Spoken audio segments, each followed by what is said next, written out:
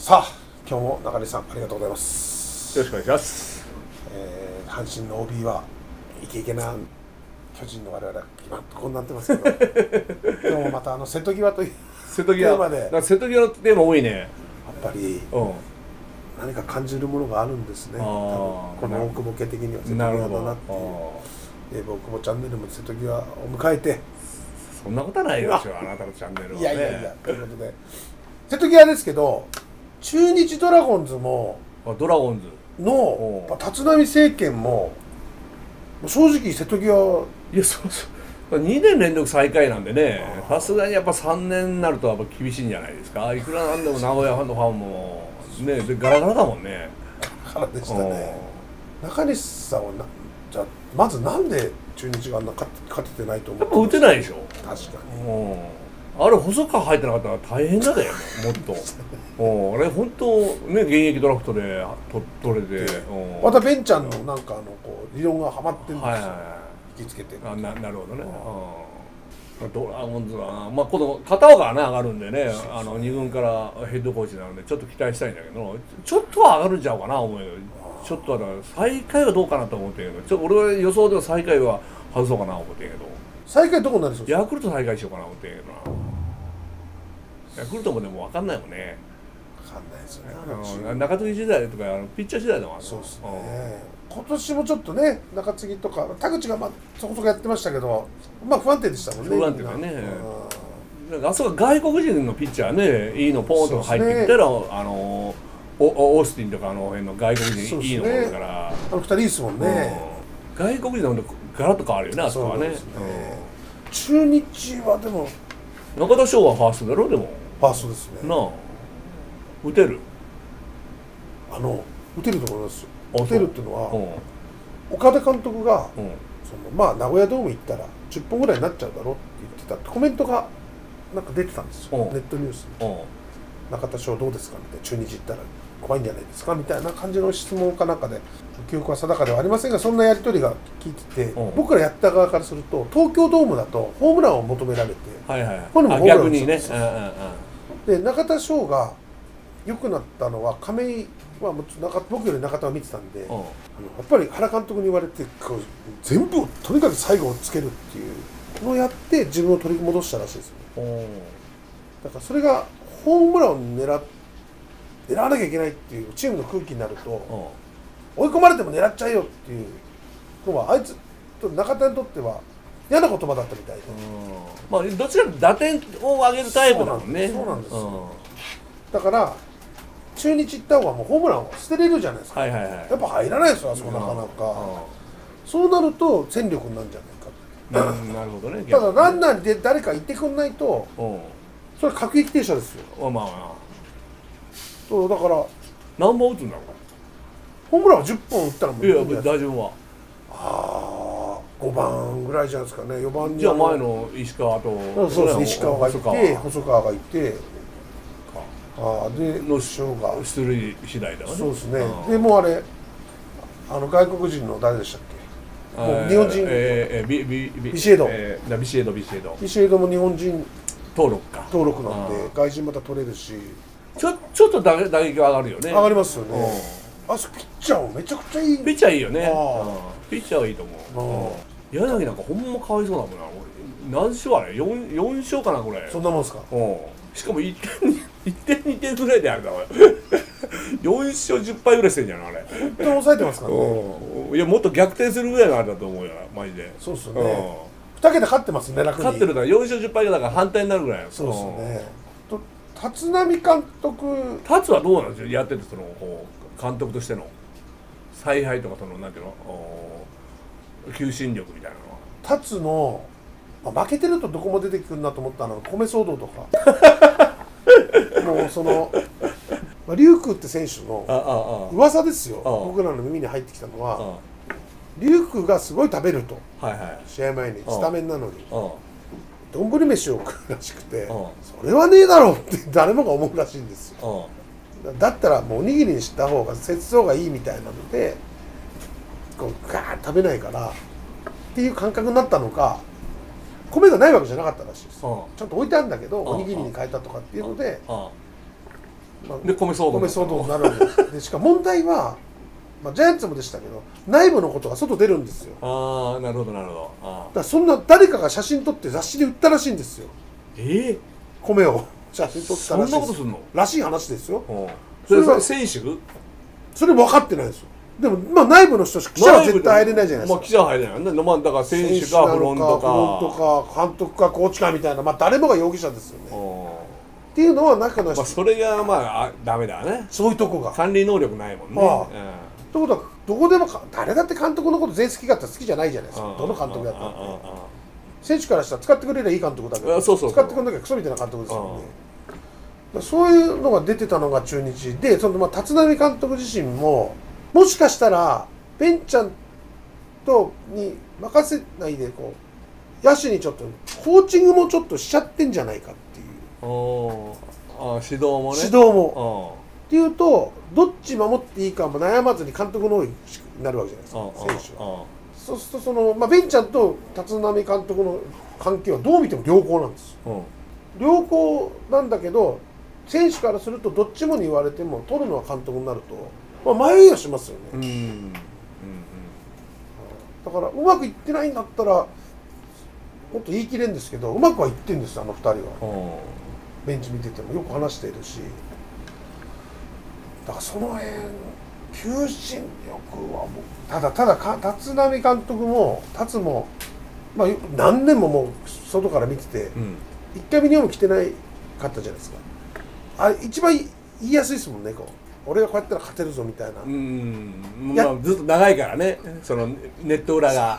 やってみたらオチがですよね。だから外で見 見てるのと中に入ると全然えー、こんなんみたいな こんな難しいの？人ってこんな動かないの？みたいなあるよね、あこんなもんここいつ変えればいいんやみたいなこことこことかそんなか簡単に思ってたかもしれないね。外からね。それはあると思うんですよ、ああそれはあると思う。ジレンマね。はなんでバント1個簡単にできねえんだみたいな。あだからってバント練習してないわけじゃないしはしてんだと思うけど、あそれでもできないじゃどうすんのみたいでなガーッと怒ってんのベンチで怒ること全くないもんね。怒ってる様子はないないもんないやかかコーチとかにガーッ言っても「こんなもんバンド練習やってんのか」で「やらせてます」で「やらせてもできなかったらやってないのと一緒や」とか。ねでも様子もないそういうのもないんだ。ただその見てると街の様子はもう愛知県とか名古屋特に名古屋は、うん。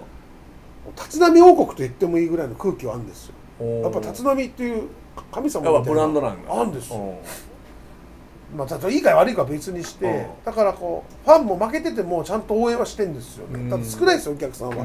もともとあんまり入らん入れまあまああんまりね、うん。まあ、名古屋でも広いんでねうん。空席が目立ちますけど。だからどうなんですかその 高市さんから見て。いやもうだバッティングバッティング次第だと思うしな片岡入ってきたのはね片岡結構言うと思うしかなり厳しい。片岡やあっちゃん阪神もやってたじゃないですか、うん。どんなコーチだったんですか？片岡もガーンやんかもう上からガーン行きよるからなんでこんなもんできねえんだみたいな感じでややりよるからこうやれってこういうせえみたいな感じのところがバッティングコーチ時代はあったよね、うん。黒い白いもん黒い白いもんも黒いって言ったら黒やっていうタイプやから。わかりやすいですよね。俺が黒いって言ったら黒やいう感じの。そういうタイプやから。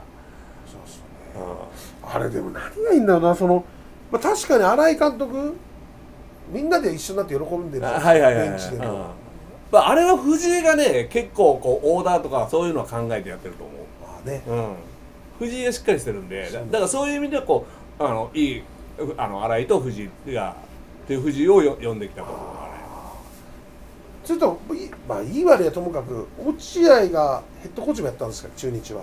ピッチングコーチと。れ、えー、中日の時は二軍監督だっけ？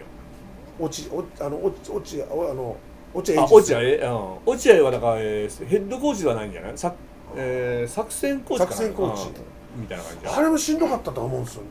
落合もね。ピッチャーの人が。まあまあ僕の考えはセ・リーグはピッチャー打席立つんであはいはいはい。パ・リーグよりはこう言えると思って作戦のことは分かってると思うんですけど、うん。で足のはいいでしょうね。作戦だとか。作戦はね。ヘッドだあヘッドまあヘッドは別か。ヘッドではなかったと思うんだから、ね。ヘッドにはしてなかったんじゃない？多分、全権監督っていうのもどうなんですかね？全まあ、でもほぼ電検でやるような監督ですよ。そうん。僕はもう全然もう本当このぐらいしかなかったです権利は。そうやろ？だからいや俺のでもだから最後決めるのはやっぱ監督だもん。いやここうこうしたらどうですか？こうこうしたらどうですか？って通るのまあ何試合かだよね。あいや通ってああそれでいいっていう。俺もそう思っとるみたいな。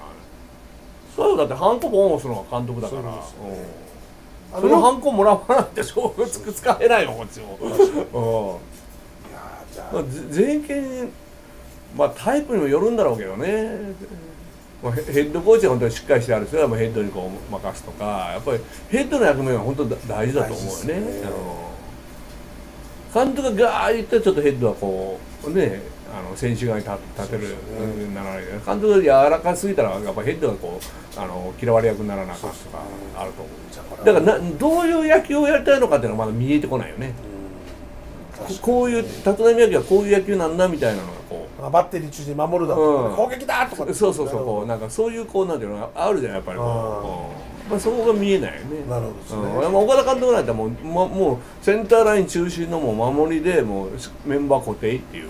そんな感じですああの選手にはだから逃げ道を作らないと。あ作らせないと。ーなるほレフトからたまにサード回ったりねセカンド回ったりしたらエラーしたらそれしょうがないよね。外野やったりセカンドやったりとかいう感じの言い訳を作るじゃん。なるほど。作れるじゃない。それをだからやあのそれをさすなで言い訳させるようなことすんなっていうことは、まあ、練習の内容とか中身でもあ常に言ってたよね。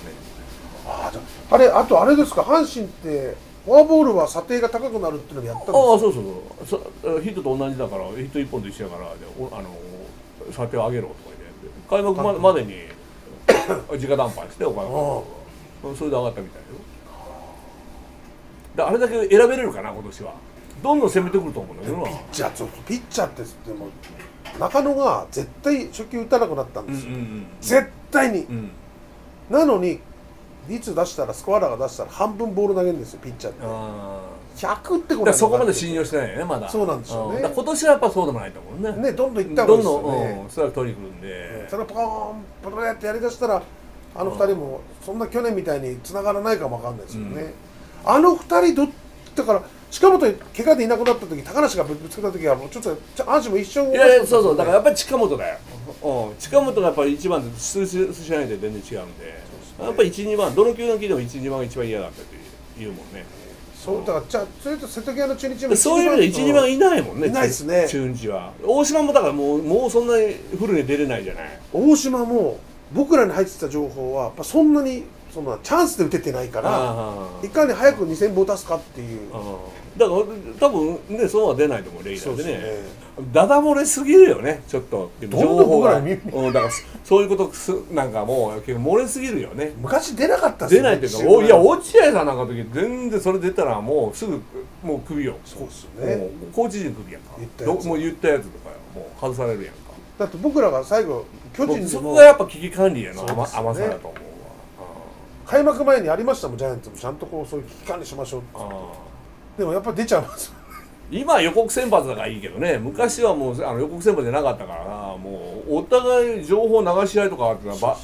あのバッティングコーチがさ、ね。だからこれ絶対内部から言っとるやっておるわ思ってバレてう。んなんでピッチングコーチはそうそうなるかな。バッティングコーチは大田こら組みたいから。自分のところも情報もらえるからでお互いやるんだもん。その時代は。バッティングコーチ同士が。チーム内でもだからチーム内でもうあのう嘘言わなきゃ こうバッティングコーチいない時に。いない時に監督この試合こここでいいですか？とかさ。はあ。そういう時もあったんですよああそういう時もあったもんだからだからおおその全体のもうそのミーティングではああの何曜日は誰々先発だよなとか言って監督がわざと嘘言ったりとか。やっぱそのぐらい情報ねでも情報出るチーム弱いですよね。そそりゃそうだよ。阪神のね何にも情報入ってきてなかったですよ。うん阪神は。終わっても出てないですよね。出てないよね。出てないうん僕ら出ましたもんね巨人は。やっぱり弱いとそういうのがあるよね。出てきます。逆に出ますよね。うんまあ、そういうとこか。そうですね。あ勝ったなうん。あとはもうねやっぱり一打てるって言ってもやっぱりね打線ちょっと良くなると言ってもやっぱ12番がポイントになってくるよね。そうですね。12番がとあの機密が出ない。うん、米騒動もそうだし米もうその辺はた片方がやっぱりしっかりとこう、ね。徹底してピリピリして。あピリピリしてやらさないとね。そうですね。いけないと思う。な、んか意外に面白い展開になりまして。楽しかったです。ありがとうございました。ありがとうございました